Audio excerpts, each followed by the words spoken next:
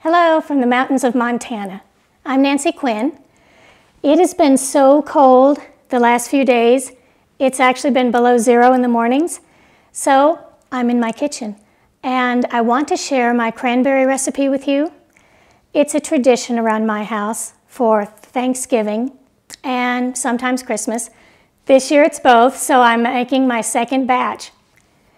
Now, to get started, we're going to need about two pounds of cranberries.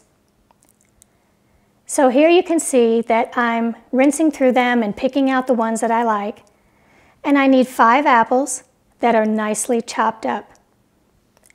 Now here in my pot, I've already put the cranberries and the apples together.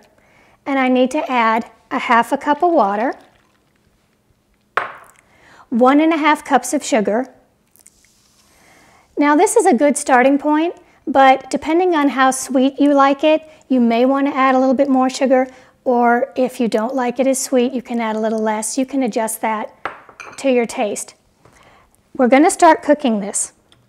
I've put it on a medium-high heat, and I really want to get this to a rolling boil. So let me get started.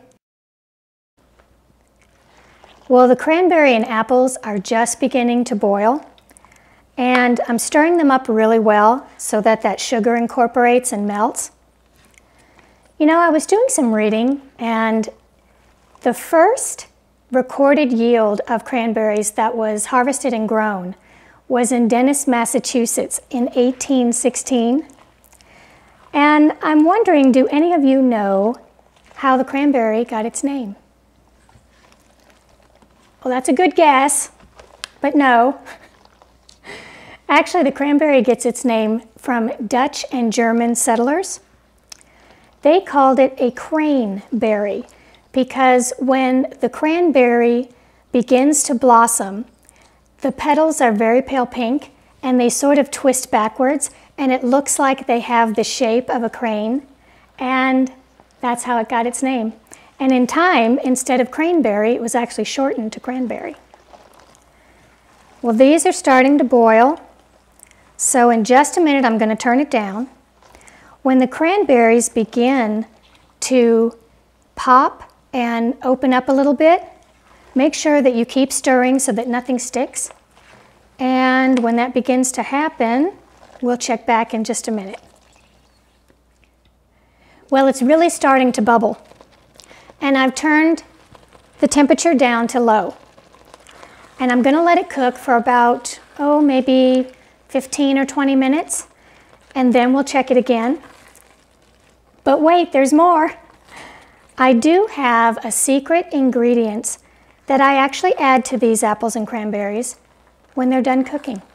You know I like to experiment in my kitchen, and so this is a little something I came up with, and I'll let you know when we're almost done. Look who's trying to get my cranberries. They always call someone to the door, don't they? well, the cranberries have almost finished cooking, and I want to just give them a quick taste to make sure that they have enough sugar. They're perfect. I love the way the apples sweeten the cranberries, but I promised you my secret ingredient it's dried cherries. When it's finished cooking, I add 3 fourths of a cup of dried cherries and mix them in. Now, if you're not a fan of the cherries, you can actually use cranberries too. One year I didn't have cherries, so I used a dried cranberry that I mixed in, and it was perfect.